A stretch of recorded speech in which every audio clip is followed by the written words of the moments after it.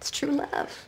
You know, when one heart connects with another heart, it's sort of magical. I really hope for you someday. God damn it.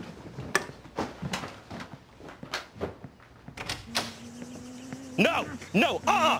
Get down. Get your ass down right now. Hop off there, blonde ambition tour. You cannot talk to my son that way. Get out, get out of here. Got doo-doo and chocolate over his hands, ruining my goddamn handlebars. What's going on? Okay, Wayne was just sitting on his jet ski. And that's why you're swearing at him? I will continue to swear, Dustin. This jet ski ain't a goddamn toy.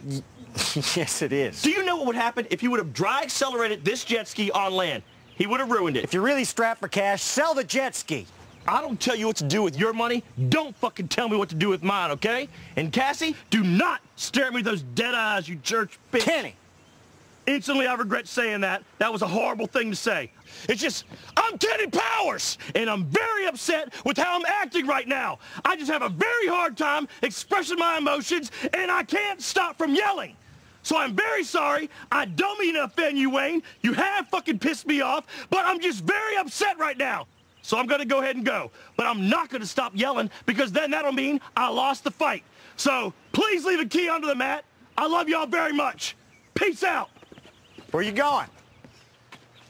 I'm going to Shabooms.